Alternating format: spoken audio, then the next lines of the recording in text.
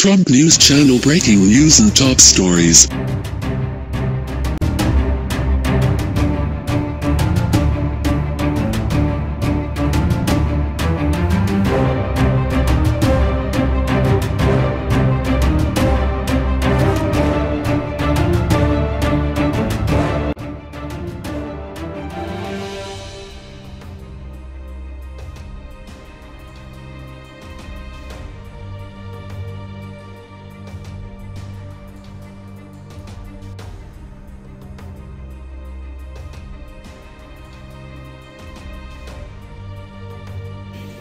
And we do it right now.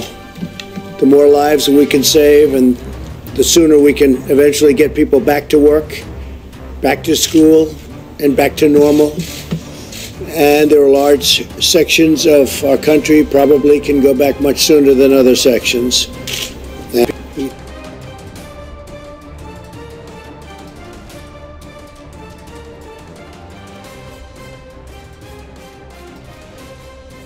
Uh, but we have a, a tremendous paid sick leave provision for workers at uh, no cost at all to the employers.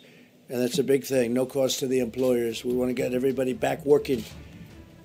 Uh, together, this $2.2 trillion legislative package is bigger than anything I believe ever passed in Congress perhaps, uh, relatively speaking, uh, if you go back, look during the FDR New Deal days, there was something that if you time value it, you could say it was bigger. I don't know, but this is certainly in terms of dollars by far and away the biggest ever, ever done, and that's a tremendous thing because a lot of this money goes to jobs, jobs, jobs.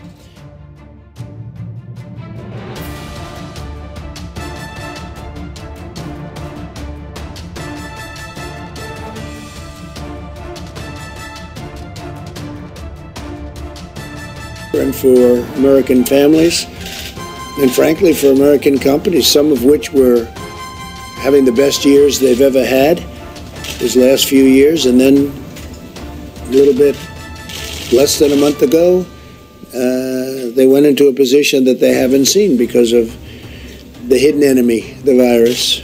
Earlier today, I spoke to the leaders of many of America's amazing nonprofit organizations. I thank them for their unwavering and unwavering devotion to American people, to American families, to our nation. And uh, they have been fantastic. They've been collecting supplies, distributing food, supporting healthcare workers, caring for vulnerable workers and families. I encourage them to continue to do it. But I'll tell you, the nonprofits have been fantastic. They've been great. They're great people, actually.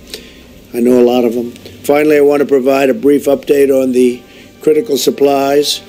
Through FEMA, the federal government has delivered or is in the process of shipping 9.4 million N95 respirators. Think of that 9.4 million. 20 million surgical masks, and we have others that we think are going to be delivered pretty quickly. The whole world, you know, it's not just us, it's not just the states. The whole world is trying to get these things. So, in competition with many, many countries.